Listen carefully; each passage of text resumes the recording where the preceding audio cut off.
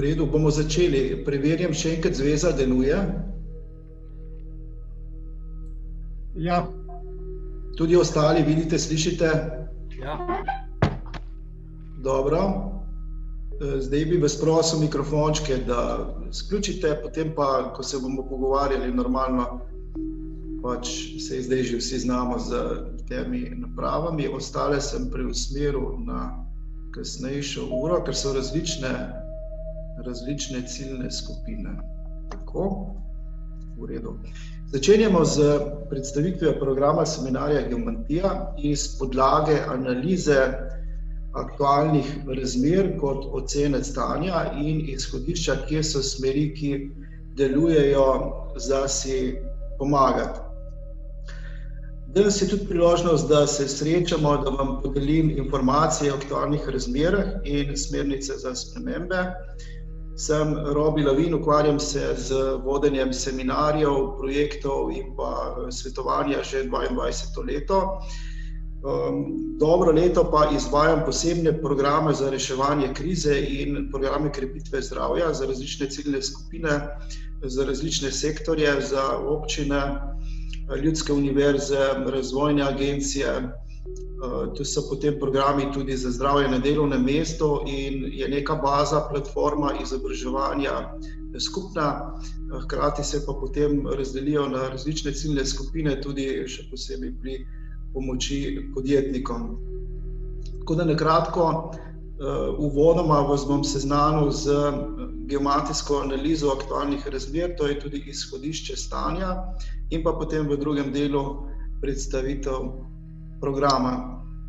Smo v izraziti prelomnici, osebno vsi in kot civilizacija, ne da se več temu ubežati.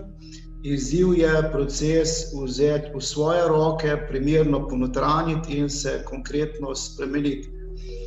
Bolj kot se prilagajamo na novo, manj škode si povzročamo, Da smo pa zares uglašeni z novimi razmerami, je potreben primeren pristop s poznavanjem ozadja, strokovno podporo, znanjem in vadbo. Toliko kot so razmere dramatične in v negativnih trendih, toliko je pozitivnega vala, ki se ga pa v hipnozi medijev sploh ne vidi. Ampak ta pozitivna komponenta je enako prisotna, gre se za izziv resnično se spremeniti, resnično spremeniti svoj način življenja, se razbremeniti stare navlake in popolnoma drugače zaživeti z naravo in uporabljati drugačne načine zdravljenja, tako pri obravnavi vzrokov, kot rešitev za samo zdravljenje. Tako da postavljeni smo v nove razmere, to je dejstvo. Nastala je nova postavitev energijsko-informacijske strukture povsod po planetu in pravzaprav v vseh porah našega življenja. Tako da to je nov tip bivanja, ki je prisoten na energijski ravni, eh, planetarno. Tako da korona razmere so samo ena plast tega dogajanja, ki kaže znake odtrganosti civilizacije od Zemlje in kompleksne verižne reakcije z večplastno preobrazbo, sredi katere smo. Tako da narobe bi bilo tako osko in črno-belo interpretirati eh, situacijo, namreč vse prelomnice človeštva nosijo v sebi kompleksno značilnost. In je potrebno pogledati iz več zornih kotov, sistematično, celovito, ponotraniti proces v samem sebi in se potem posvetiti spremembi. Tako da ocena, na kratko, ocena stanja je, da smo pred globalnim opozorilom in enako tudi pred globalno planetarno priložnostjo iti v novo fazo življenja, tako da si res, res dopustimo. V naših programih se gre za holističen pristop, v osnovi skozi geomatijsko obravnavo stanja in pa potem vse stransko sistematično delo, osebne spremembe, skrbi za zdravje. Na podlagi prvenstveno, se pravi, diagnostike biopolja Zemlje, se potem tudi programi eh, neprenehno razvijajo.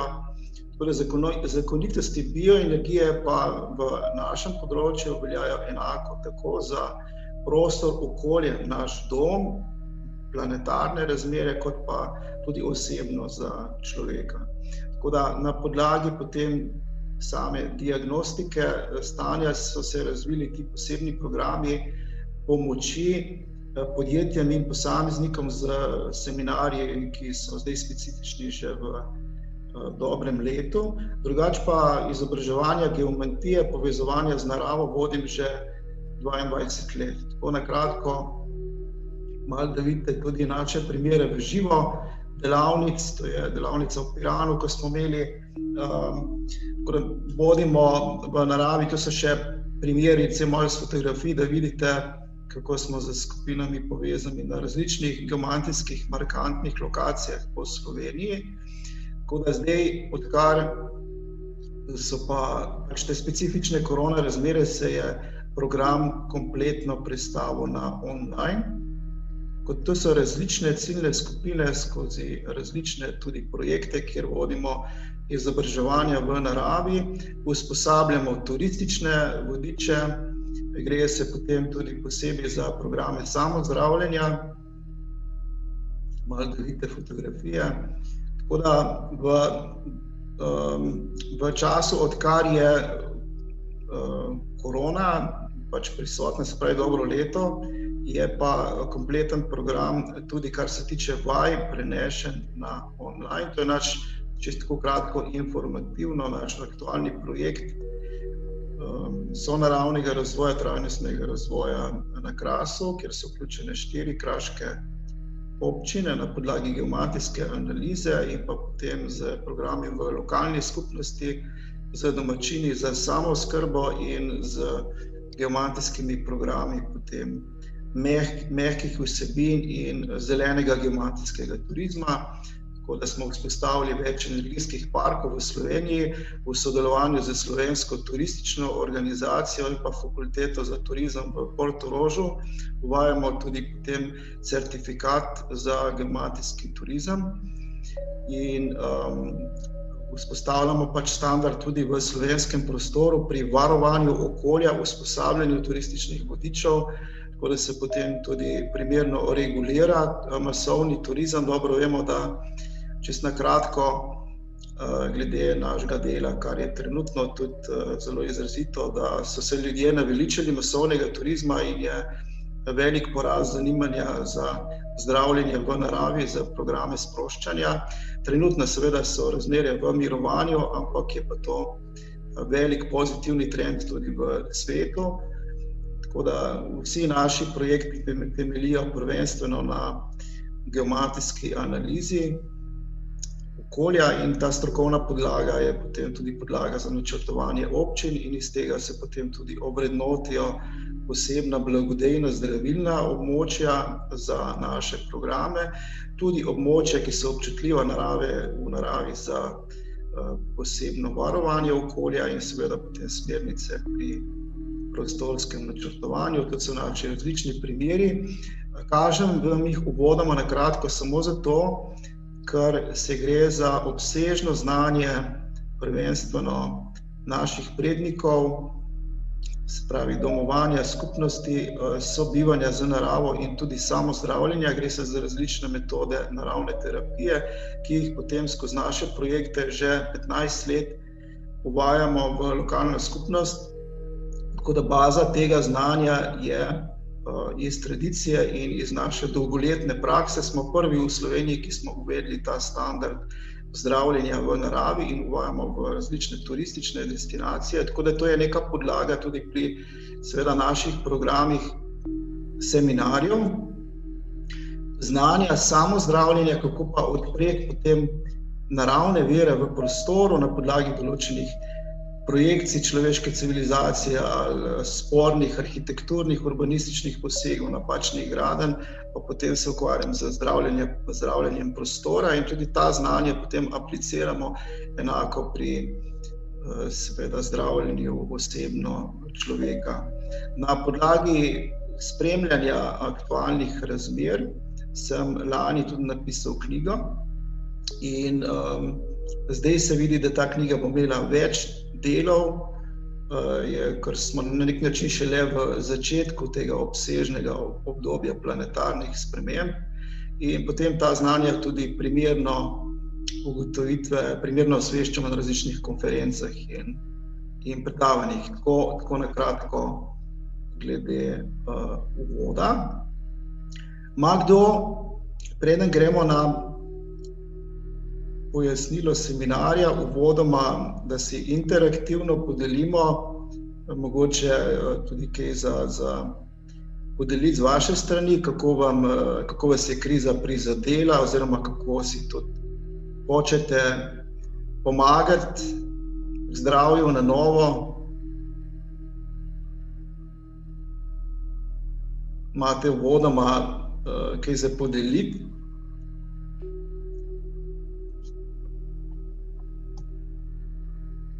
Dobro.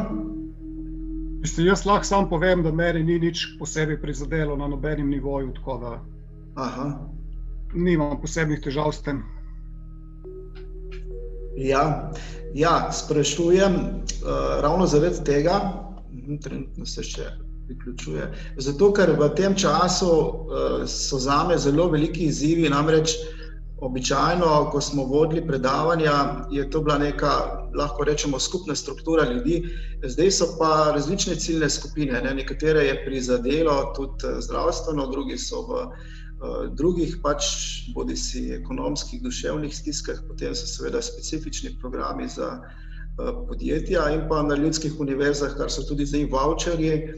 Eh, v tej smeri tudi mi delujemo potem v podpori tudi občinam, da poskušajo pomagati domačinom v lokalni skupnosti z programi za zdravje na delovnem mestu.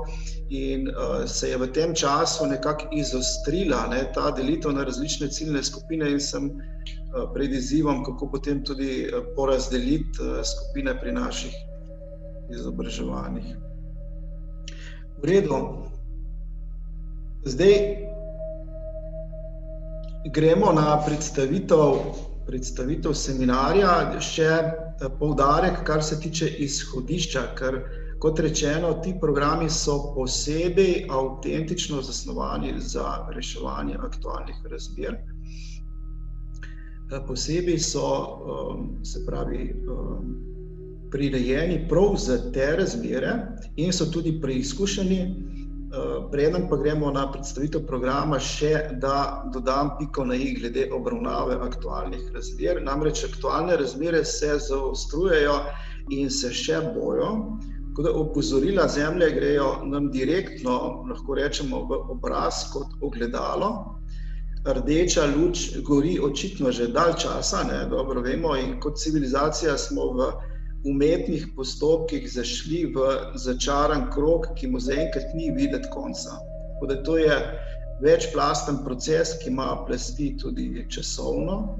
Obstaja pa kritična masa po planetu, zmeri več je ljudi in številnih skupin in organizacij, ki hočejo zaživeti drugače. Tako da poleg eh, pospeševanja te digitalne dobe nastaja tudi nova zavest Zemlje, ki nas vabi k procesu transformacije in poteka intenzivno. In ukolikor upoštevamo zakonitosti zdravljenja, tako pri sebi, kot eh, do zemlje, potem se vključimo v proces samozdravljenja in umeščanja v novo postavitev življenja.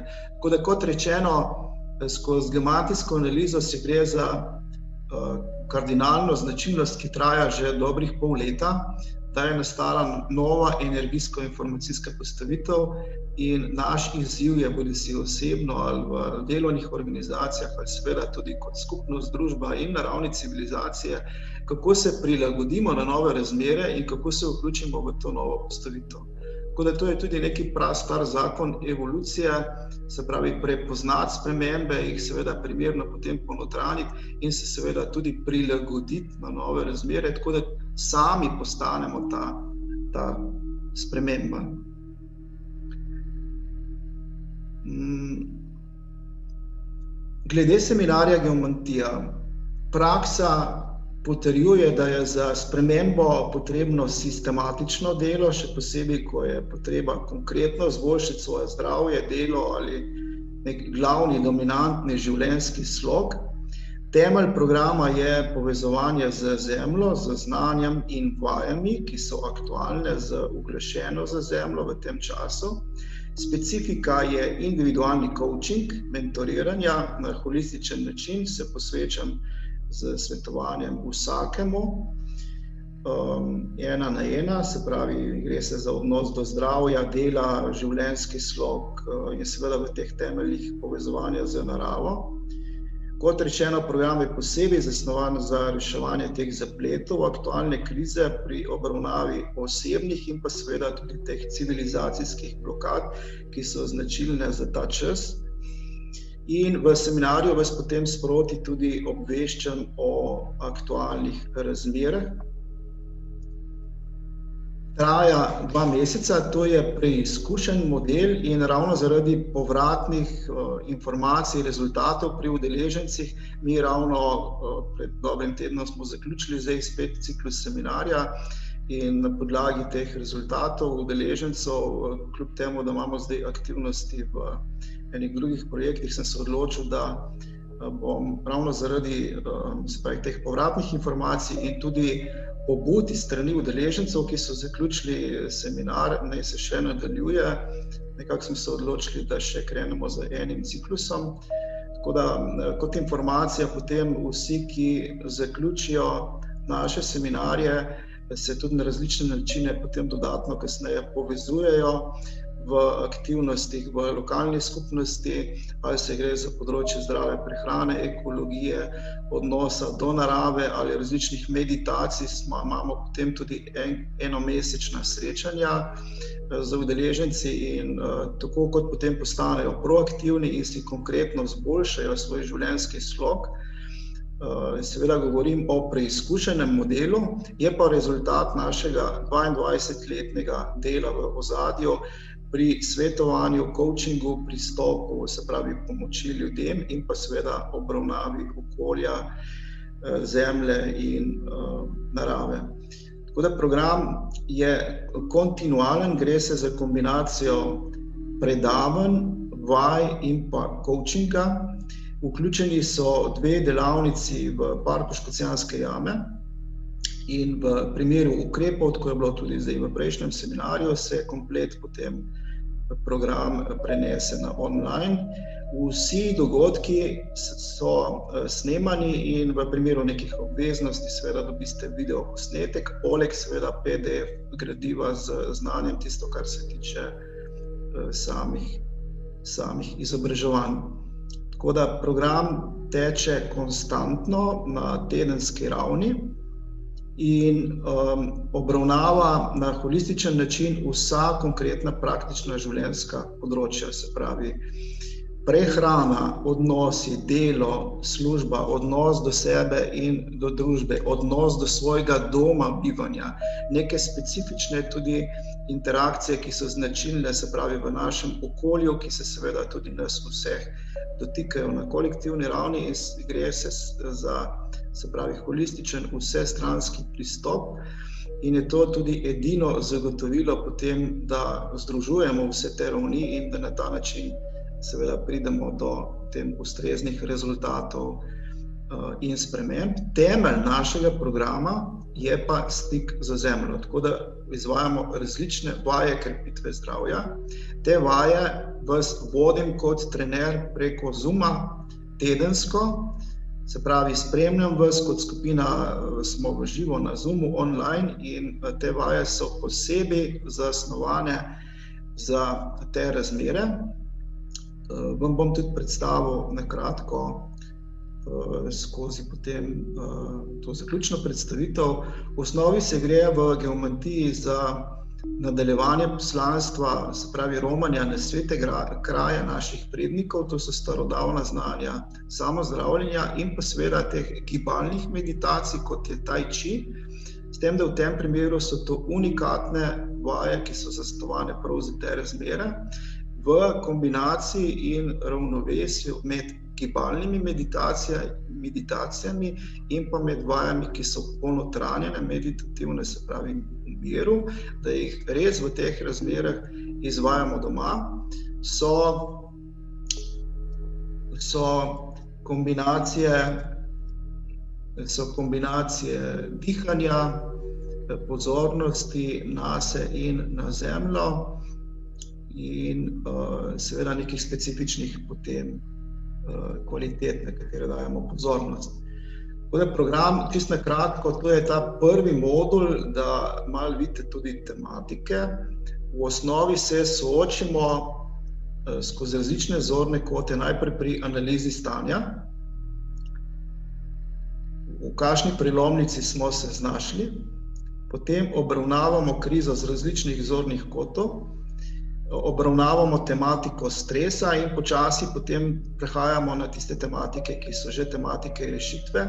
Se pravi, nujno se je v holističnem pristopu za se soočiti hkrati z kolektivnimi vzroki in pa potem seveda temi, ki so na skupnem imenovalcu osebno pri nas vseh kot nekem splošnem družbenem načinu življenja.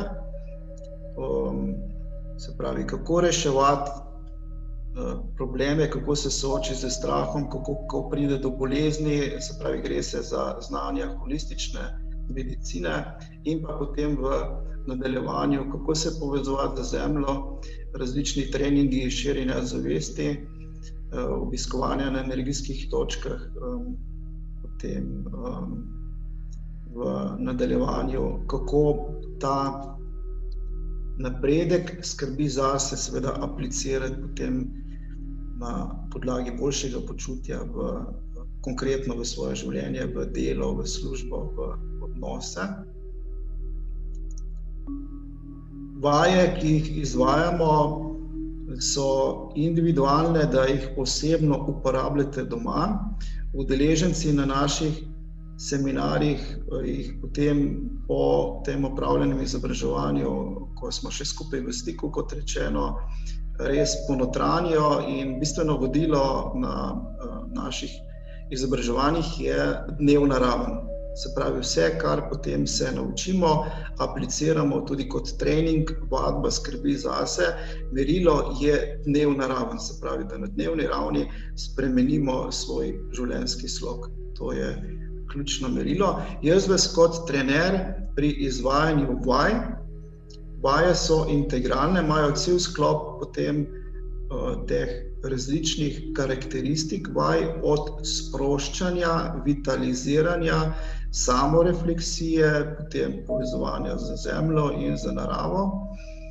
In se jih na primeren način, tudi v primernem redu, sledu, vodi na tedenski ravni, tako da skupaj jih izvajamo. Jaz vas nadaljavo online spremljam, in pa odgovarjam na kakršna koli vprašanja, potem seveda spet posnetek eh, tudi teh vaj dobite domov. In uh, komentiram, seveda, vaš napredek tekom seminarja na vseh ravneh, se pravi, prvenstveno, kar se tiče skrbi za svoje zdravje, in pa premikov v specifiki vašega življenja. Tako da gre se za holističen pristop, uravnotežen na vseh ključnih področjih življenja, z temeljem, temelj našega programa je pa stik z zemljo, ravno zaradi tega, ker je to kardinalni problem nastalih razmer na ravni civilizacije. Zaradi odtrganosti civilizacije od zemlje in kompleksne verižne reakcije, se pravi, vplivov moderne tehnologije in pa vseh ostalih anomalij modernega načina življenja, je seveda privedlo do kompleksne verižne reakcije z tem umetnim uh, vplivom, ki pač tako dominira, da uh, na programu delamo, se pravi, ravno kot protipol rešitve, da je temelj našega programa. Pa seveda stik z zemljo, in to je predpogoj, se pravi, brez stika z zemljo in z naravo, z um, kompleksnimi, potem tudi vajami uh, prizemljitve, ni nobenih pogojev, bodi si na osebni ravni ali na ravni civilizacije, da bomo prišli uspešno skozi vse te faze prehodov. Če govorimo o preboju, seveda v našem programu je ključen preboj, kot rečeno. Preboj temelji na združevanju vseh področjih življenja, v našem notranjem svetu, z našimi prepričanji, vzorci vedenja, telesno aktivnostjo, tudi za prehrano se ukvarjamo, spravi ker vidite, se gre za celovito obravnavo dejansko res vseh področji življenja in pa ta duhovni odnos do sebe, do zemlje, do sveta skozi tudi meditativno prakso. Dost tudi delamo na uh, razgovorih, pogovorih o aktualni situaciji, ampak ne skozi ta črno-bel, enostranski način, ampak skozi poglobljen pristop, da pa pride do, da pa pride do preboja so tukaj ključni neki parametri, tudi skozi preizkušene, eh, spravi modele, ravno v tem obdobju naših udeležencev, z objet vse, kar se dogaja, začeti redno reševati zaplete z duhovno naravnanostjo, to pomeni z zavedanjem, svojo zaznavo in trenirati se, odklapljati od pritiskov od zunaj, tako da se uklapljamo na druge ravni, ki so zdaj v procesu zdravljenja. Gre se za preusmerjanje pozornosti iz tistega, ki je v blokadi, ki, ki tudi razpada, in k tistemu, ki dobiva moč porajanja, porajanja na novo. Graditi in vzdrževati redno mrežo z subtilno zavestjo zemlje in sebe, to je mreža življenja, in mi smo jo kot civilizacija zamešili in dali težišče na umetno mrežo. Tako da od te mreže se je treba odtrgati in priključevati na mrežo življenja. Ta nam daje moč in usmeritve, kako delovati naprej.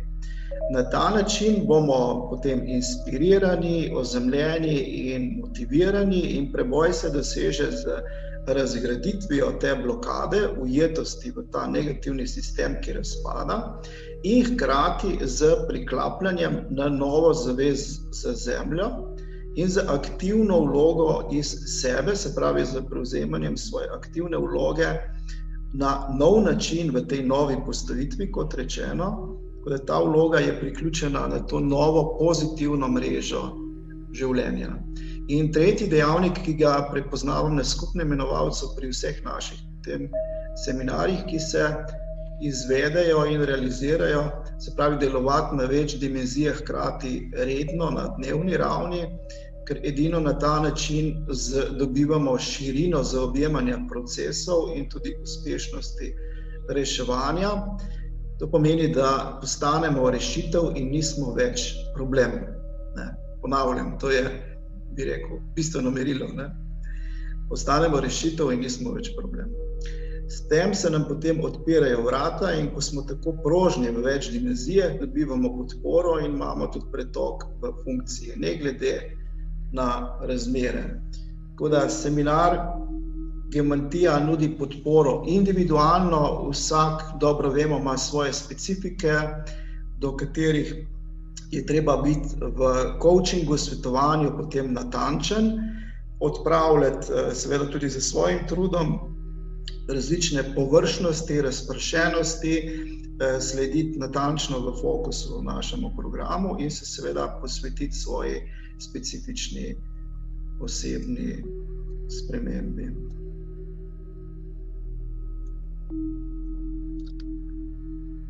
Vse vidite, ne?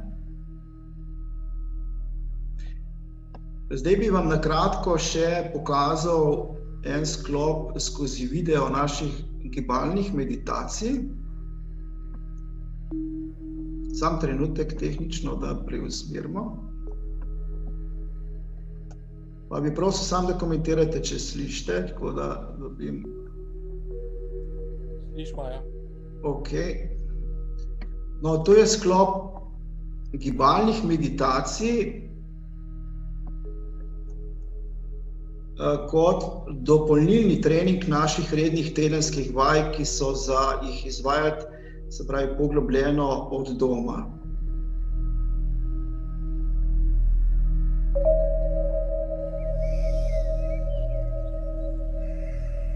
Tako da geomantija je naslednik tradicije eh, Feng Shuja in pa eh, tudi Tai Chia. Jaz izvajam te vaje redno, dnevno, že 20 let, so pa to specifične vaje za vsaka za določeno kvaliteto. Kot rečeno, je to skladnost gibanja v kombinaciji se pravi dihanja, pozornosti na določeno kvaliteto in pa gibov telesa. Te vaje so eno posebno doživetje, ko imamo programe neposredno v pokrajini, in seveda je to zdaj nekako sekundarni del pri našem sklopu treninga vaje. In prvenstveno jih izvajamo statično, se pravi, sedi doma, čisto od doma, ki so eh, namenoma zastavljene za te razmere. Ta sklop se potem kasneje pridruži, malo, da vidite, kako potekajo te vaje. Ta sklop se kasneje pridruži. Eh, planiran je za doživetje delavnice v parku Škocijanske jame v sklopu seminarja, ki traja dva meseca, je delavnica enkrat mesečno in se to izvede v živo. Kot rečeno, v primeru ukrepov, pa potem tudi preko video dogodka jih uh, skupaj izvedemo.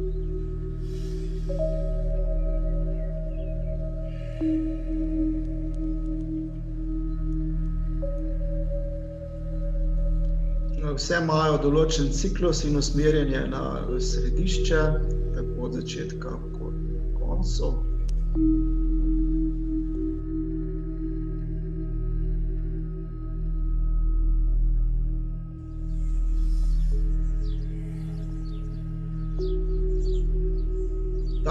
Prejšnji dve vaji, samo na kratko, da vam še opišem, vse ostalo je potem v programu poglobljeno, tudi del vaje, vadbe. Vsaka vaja ima posebno razlago, na, ima določene koristi. Tako prva vaja je bila povezovanje, osnovno povezovanje z prostorom, druga vaja je uravnoteženje z štirimi elementi. Ale je čiščenje svojih problemov, sence iz hrbtne strani, se osredotočimo v povezavi z naravo, da čistimo z dihanjem, pa potem v tem primeru se zaključuje svoje energijsko polje. Določeni gibi so bolj energični, kot po tradiciji, skladni, umirjeni gibi, določeni energični. Kot rečeno, ta sklop gibalnih meditacij v teh razmerah šele sledi potem v drugi fazi. Poleg teh gibalnih meditacij ki se izvajajo enako kot statične v stiku z zemljo in naravo. Dajemo podarek tudi na telesno aktivnost, prehrano, kot smo rekli, se pravi ta popolnoma drugačen življenjski slog, ki je nujen, da pridemo do rezultatov, kar se tiče preboja v našem seminarju.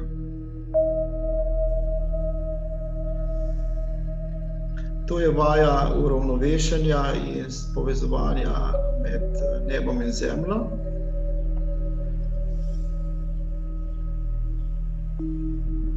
Prenos v popek, v tem primeru je popek središče, tako da pri vseh vajah je pomembno eh, se osredinjati energijsko v določeni točki, kot po tradiciji imamo tudi v naših programih prvenstveno težišče bodi si v popku oziroma v srcu.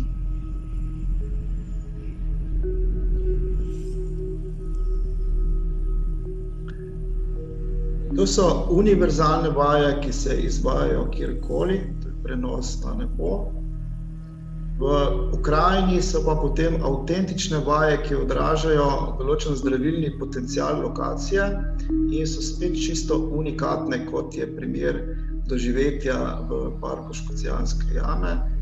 To je pletenje povezave iz srca z silnicami narave, dosti delamo z dlanmi, Eh, tako kot so stopala odraz celega telesa in obraz, enako se pravi, spodnji del obraza, zemeljski del, zgornji duhovni, srednji je srce, so dlani.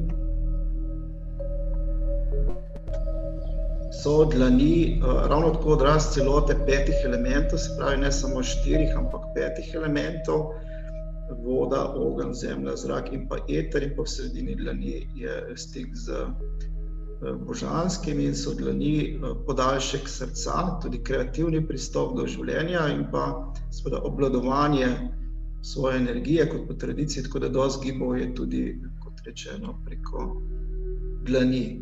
To je bilo kot samo tak vtis glede gibalnih meditacij. Zdaj se vrnem nazaj na prezentacijo. Trenutek,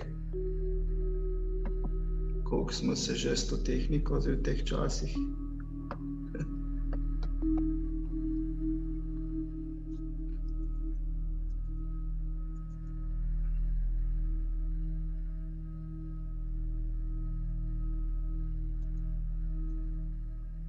To je park, malo jih da vidite lokacijo. Na, na, z našim zavodom sodelujemo že leta tudi z, z parkom, tako da imamo potem uh, omogočene točke, tudi, ki jih običajno skozi turistično vodenje sploh se ne v tem masovnem turizmu uh, se jih sploh ne uporablja. In so potem tudi različne vaje eh, senzibilizacije, eh, krepitve povezanosti z naravo, čutenja. Se pravi, ta del je tudi pomemben, uh, razširjati senzibilnost, zavest, senzibilnost za naravo skozi različne vaje samorefleksije, ki nam potem tudi pomagajo v tradiciji pri samoopazovanju. Se pravi, to doživetje, poglobljeno doživetje skozi ta uh, meditativen pristop lepote, narave, še posebej na teh obdarjenih lokacijah, nam potem pomaga povratno nazaj. So določene vaje, ki niso vaje za vitaliziranje in sproščanje, ampak za samo refleksijo, potem tudi pri spoznavanju eh, samega sebe, da se ravno te kvalitete ponotrani in pomaga potem pri določenih uvidih, inspiracijah in odločitvah.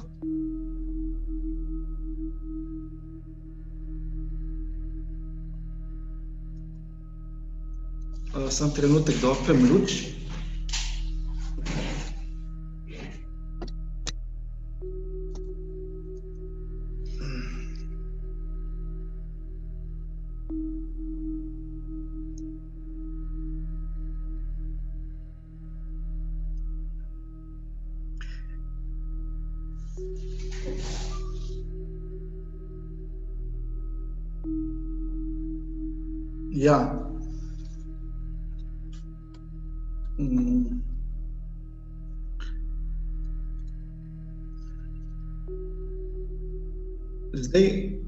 rečeno, v mojem delu trenutno usmerjam ta program na različne ciljne skupine.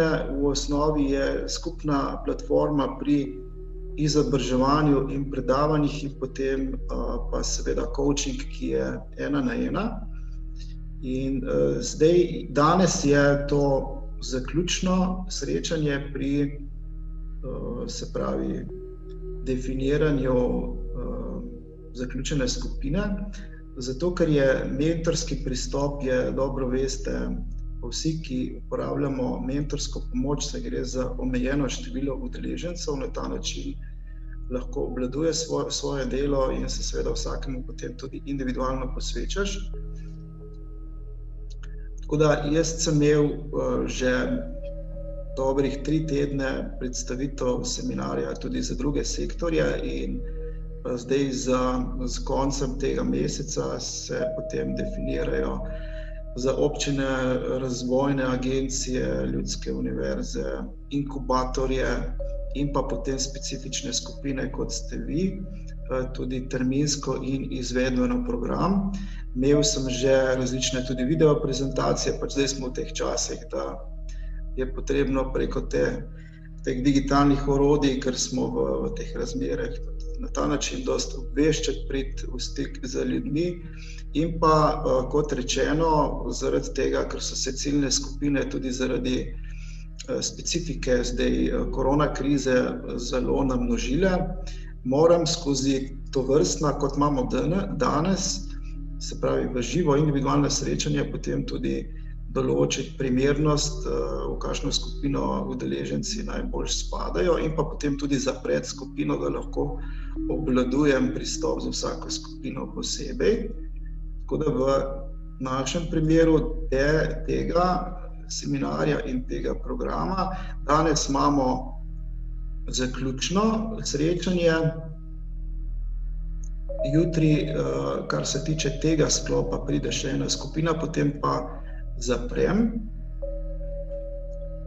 Seminar prične 4. aprila, traja dva meseca, rok prijave je pa ponedeljek. Cena seminarja je z 30-odstotnim popustom 300 evrov, vse skupaj v celoti za kompleten program. Prijava je pa za predplačilom, se pravi 50% za predplačilom, 150 evrov, najkasneje v ponedeljek. Ker jaz sem ta informativna srečanja že imel kar parkrat, tako da danes je to zaključno. In Taka srečanja pa hkrati služijo eh, tudi, se pravi, razgovoru v živo. Tako da, na kakršna koli vprašanja sem zdaj na razpolago, da se vam posvetim in da tudi skupaj dorečemo, glede uh, upisa za seminar. Tako da, zdaj ste pa vi na uh, potezi. Tako da, kar izvolite za kakršno koli vprašanje.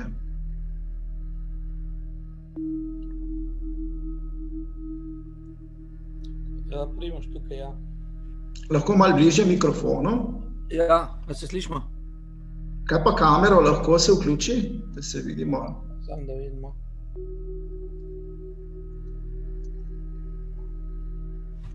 Ja, boja. Ja. Mene zanima, koliko krat je to tedensko, mesečno, kako je časovno? Ja. Tedensko dobite domače naloge ob ponedeljkih, poleg vprašanj, to je mailing mentoriranje, ki je tedensko. Poleg vprašanj dobite tudi zraven znanja. Ob sredah so tedensko vaje, ki jih skupaj izvajamo. Coaching individualen je vsakih 14 dni. Predavanja so, uh, tu imamo štiri predavanja po štiri ure, tako da je razdeljeno, se pravi, dve predavanji mesečno. Enkrat mesečno je srečanje v sklopu skupine, to je ob koncu meseca, tako da si tudi v sklopu skupine podelimo spoznanja in delam v tem primeru naravne skupine. Delavnica v živo je enkrat mesečno v parku Škocijanske jame in kot rečeno, v primeru ukrepov je ta delavnica spet online in traja spet 4 ure. Tako da, glede točnih terminov, vas potem v nedeljo, ki je uvodno srečanje, eh, seznanim z termini, točnimi termini in programom, potem se pa krene po tej dinamiki. Mailing mentoriranje poteka, se pravi, preko maila. Vi upravljate uh, domače naloge preko maila, in to je tudi podlaga za potem coaching v živo preko Zuma, uh, ki poteka ob sobotah, se pravi vsakih 14 dni. Uh -huh. uh, ok, hvala ja, za enkrat.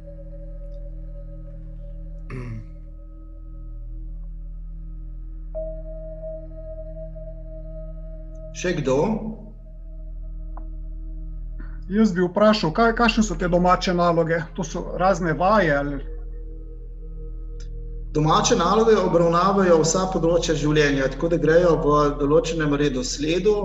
Um, in um, se pravi, kako se obravnava vse, kar je ključno v našem funkcioniranju. Kot sem rekel, odnos do sebe, do zdravja do doma, sveta, družbe, prehrane, zemlje, narave, vse stranski pristop pri domačih nalogah, ki uh, skozi potem uh, mentoriranje preko, preko maila ustvarja podlago za coaching individualno. Na domače naloge vam, se pravi, preko maila vsakemu odgovorim. Ne? In je v tem času, se pravi, namenoma je tudi po preizkušenem modelu, to, to je že odprej, ni, ni zdaj razlika od korone krize. Eh, ta čas, da pridemo do pravih prebojev, je čas dveh mesecev. V dveh mesecih, se pravi, dobite osem domačih nalog ne, in se z vami ukvarjam.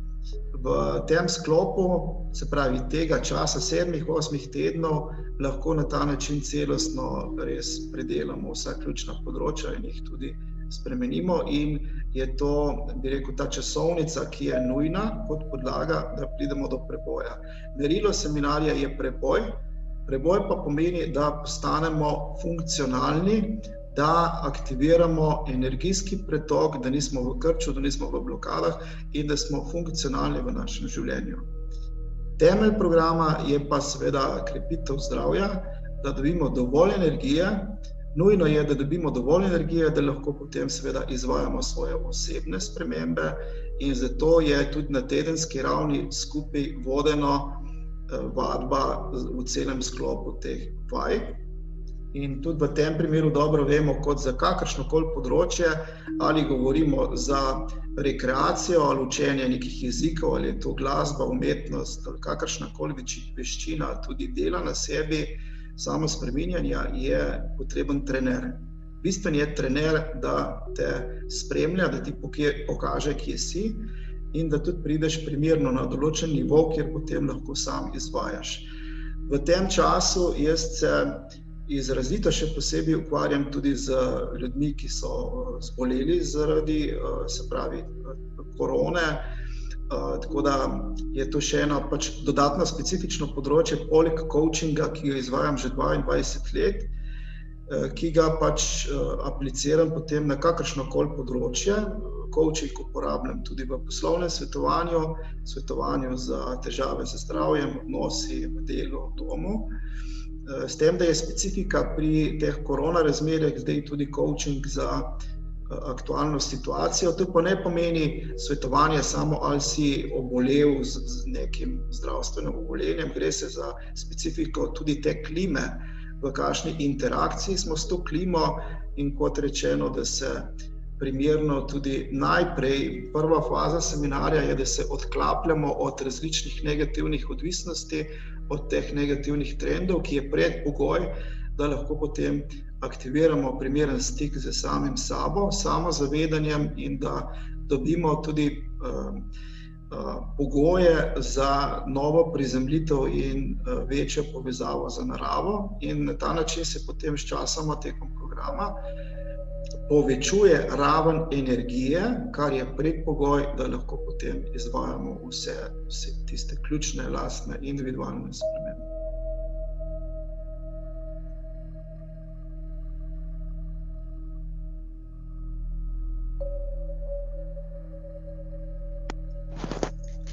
Robi, dober večer. Dober večer, Vesna. Vidva sva se srečala že leta nazaj. Kje pa? Spra Ha, najprej na dolih, uh, ko sem prosila za ureditev hiše, ampak v tem času sem se že preselila, potem smo imeli pa eno zadevo pod Krvavcem. Smo se z eno skupino dobili, tako da si naredil en pregled, pa si kar dobro povedal takrat.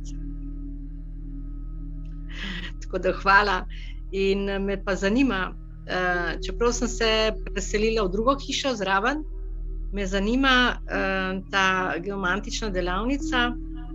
Če bi s tem programom lahko uredila dom tako, kot je treba. Smo že dal več pregledov skozi in tako, ampak še vedno se dogaja, da so zdravstvene težave in pa nered v hiši. No, absolutno, ja, absolutno. Uh, kot rečeno, Pri našem programu se gre za vse stranski, celovit, holističen pristop, s tem, da vsak ima neko specifiko in svojo zgodbo, ki zelo štrli, in v tem delu se potem posvečam na coachingu. Ne. Tako da ta eh, srečanja v živo so pa tudi za me, ne samo za vas, na nek način odločilna, da se. Um, dovolj uskladimo, da tudi vidimo, kako ste vi naravnani, ki imate svoje potrebe, želje oziroma ovire, in da lahko jaz potem tudi primerno uh, usmerjam v različne skupine in potem tudi definiram in zaključim. Da, kar se tiče vaše situacije, je to ker meni je merilo, da pridemo do preboja, da pridemo do rezultatov. In kot rečeno, v teh časih smo v neki kompleksni situaciji, ki ima polno nekih obremenitev in vsak ima neko svojo osebno specifiko. In je najbolj uživo skozi razgovor, skozi posvetovanje, potem določiti, ali je zadeva primerna ali ne. ne. Eni imajo logistične, neke vsebinske, kot vi, recimo, čisto nek konkreten namen. Ne? In to je vse najbolj prizemljiti, konkretizirati in potem uh, se odločiti. Ne? Tako da je to vsekakor, no, v vašem primeru je, je v redu. Zanima me, jaz sem še v eni skupini, kjer imam zelo intenzivno izobraževanje in jo bom zaključila junija meseca. A je tole bo zdaj verjetno zaključena skupina. Um, a bo potem, recimo v septembru, ponovno kaj razpisano? Zaenkrat ne vem, kot rečeno, mi smo zdaj zaključili z seminarjem in je bilo planirano, da bi to bilo zaradi drugih projektov uh, zaenkrat dovolj. Mhm. Ampak ravno na podlagi teh pozitivnih povratnih informacij, tudi konkretnih njihovih pobud, smo dali še ta cikl ven, tako da zaenkrat ne vem. Lahko bo, lahko bo, trenutno pa ne morem več obljubiti. Mhm. Je pa pri vseh cikl dva meseca. Ja, to je preizkušen model uh, same časovnice, da prideš uh, skozi ta sistematičen program do ustreznih rezultatov. Ja. Še eno vprašanje me zanima. Ali so ta uh, izobraževanja, oziroma ko so na terenu ob nedeljah? Ob sobotah. Ob sobotah, ja.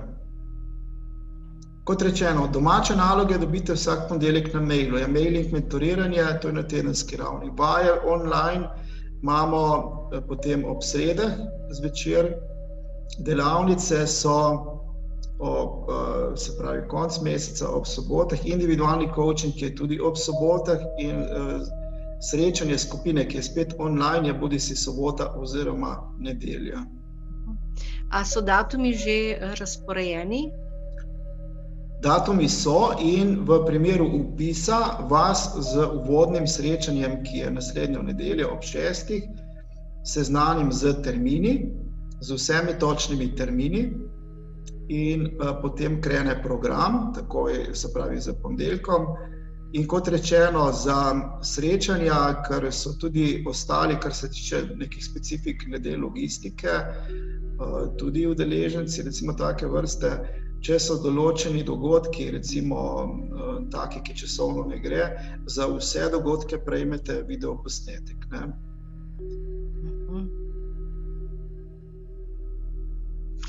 Jaz bi se odločila, ko bom za termine vedela, da vidim, kako se bo to kaj uskladilo. No. Aha, termine. Ja, odločiti se je, kot rečeno, treba uh, najkasneje v ponedeljek. Vi ste zadnja skupina, ki vas zdaj tako specifično informiran. Uh, za termine vam lahko jutri tekom dneva po mailu pošljem, pa boste potem videli, ali ustreza ali ne. Uh, Zaprl, ja. Zaprl pa bom skupino v ponedeljek zvečer, se pravi pojutrišnjem. Mhm.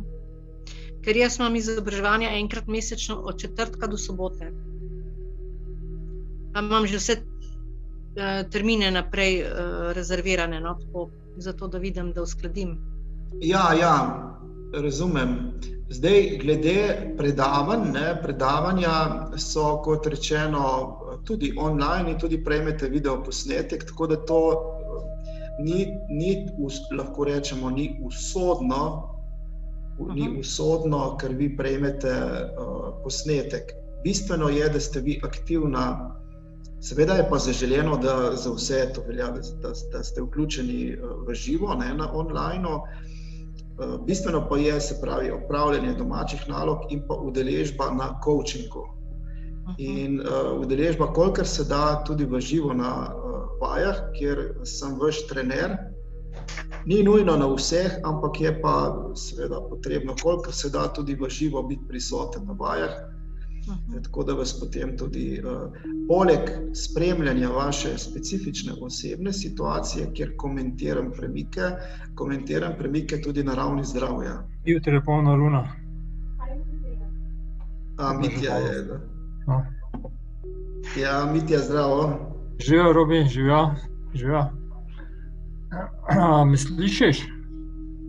Halo? Ja. A, se pravi, me slišiš? A, nimam vključene kamere, zdaj le, mogoče zdaj. Aha. Ja, pa nisem osvetljen, le jaz ne znam. Tako je, evo. Pa nisem se počesal, no, vsaj obricem. ja. Malo si se kasneje priključil, drugače ja. pa v primeru interesa lahko normalno pošljemo potem zvečer tudi posnetek tega srečanja, da vidiš v celoti. Ker zdaj smo že pri razgovoru oziroma pač posvetovanju za upis. Ne. Ja, slišim. Ja. Ja. Najlepša hvala. Ja. Hvala za informacijo. Malenkost.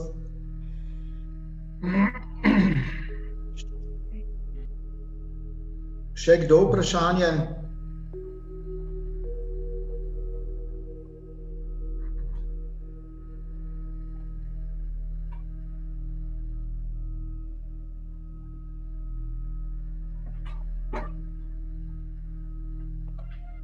Jaz, Matjaš, le, jaz bi sam prosil, tudi če mi lahko pošljete na moj mail ta uh, urnik. Ste prej rekli, da lahko pošljete.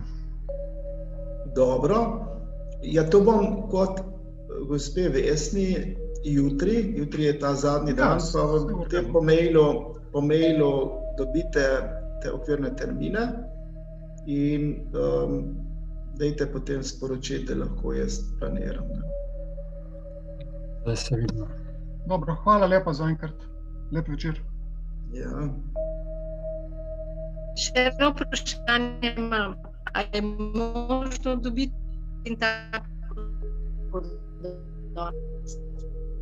O, Vesna, zdaj pa neki signalček je uh, se zgubil, če lahko še enkrat. Ja. A, je, a je možno dobiti ta posnetek od današnjega predavanja? Ja, lahko. lahko. Se sliši. Ja, ja, seveda lahko. Hvala. Mhm. Mitja, pozdravljen. Zdravo, vesna, zdravo. Preko Ane se poznava. O, ja, mislim, da smo se v Ljubljani srečali ne, na Ljubljanskem Tivoli. Ja, Kako? Na Umariboru, tudi na piramidi. Tudi možno. ja, v bistvu je tako. Ne. Ptiči iste, iste sorte skupaj letamo ne, na, na podobne dogodke. ja, ja. Um, to, je, to je zelo zaželjeno. Kot rečeno, eh, samo informativno, to ni neposredno v sklopu programa našega seminarja, eh, samo da ste seznanjeni. Jutri imamo meditacijo preobrazbe za zemljo, ki jo vodim ob polnih lunah zvečer, online. Eh, so, mreža se širi, so tudi iz Hrvaške se priključili. To je en, en ta segment, potem tudi udeležbe deležencev, tudi seminarjev, ki zaključijo, so potem uh, radi, so aktivni tudi na meditacijah, aktivnostih v lokalnih skupnosti ali programih turizma, samo skrbe, kot rečeno. In um, če vas zanima, lahko vas tudi informiram, pa vabljeni. Tako. Drugače, tam smo. Uh, a ima še kdo kakšno vprašanje? Hvala.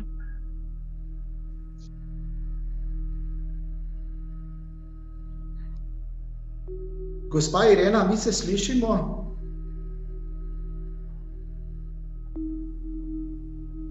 Halo, se slišimo dobro, ja, hvala.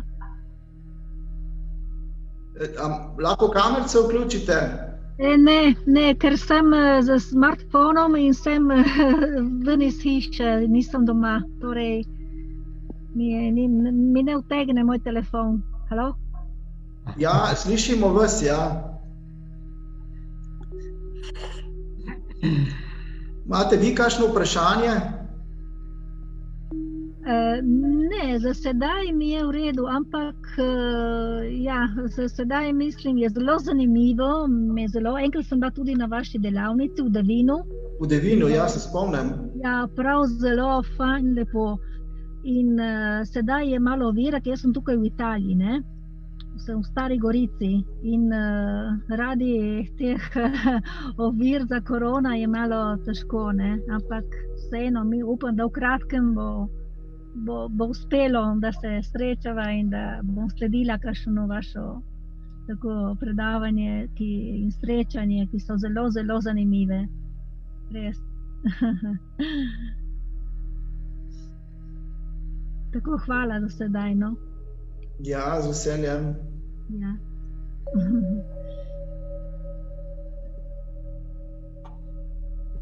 V redu.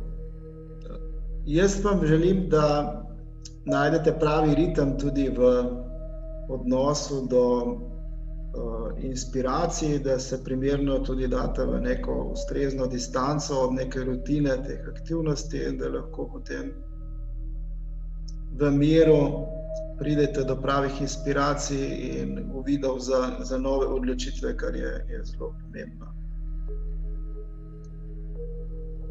Lep večer. Lep Hvala. večer, Enako. še naprej. Se priporočam za posnetek. Ja, bomo poslali. Hvala. A še če počakate, samo sporočila zemlje, tako na kratko. Na, Sicer bo pa to tudi na posnetku. V redu.